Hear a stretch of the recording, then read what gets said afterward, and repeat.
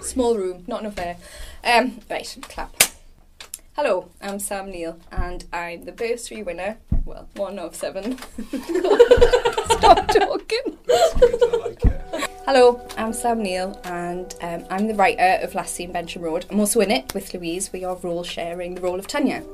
Last Seen Bensham Road started off as a 10 Minutes To piece for Live's 10 Minutes To um, programme back in 2018 and they've supported the process and we applied for the bursary and won it to produce a full length version for Elevator Festival. Well, it's a privilege to be performing at the Elevator Festival. I'm a huge fan of the work that Live produces and I'm obviously a huge fan of Sam's writing, so I'm excited to be in Last Seen Bensham Road. The play is about Tanya, obviously. She's a single mom from Gateshead and she is having a really rubbish day. And she starts to disappear.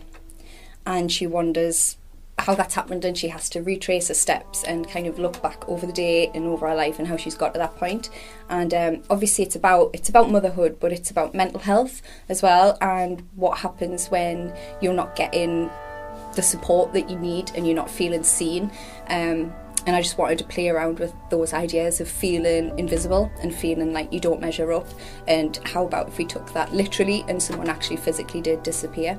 The way that we're working is we're doing a role share of the role of Tanya and that's been a really interesting process because I think doing these kind of shows can feel a little bit lonely and isolating so it's good to have another actor there that you can feed off and share the experience with really and, and it's nice and it's interesting to see how the other actor interprets the role how they say the words how they view the character. The role sharing takes the pressure off as well as a as a working mother you know two young children working in the creative industry. It's allowed us to be able to support each other and I think it's going to be a wonderful show and I'm really proud to be a part of it I'm really excited to be part of Elevator Festival. I can't wait to show you what we've been working on. Come and see the show and come and see all the other amazing stuff that's on during the festival. Last seen Bensham, Bensham Road. Road, yes. On the 12th, the 13th, and the 14th of March at Live, Live Theatre. Theatre.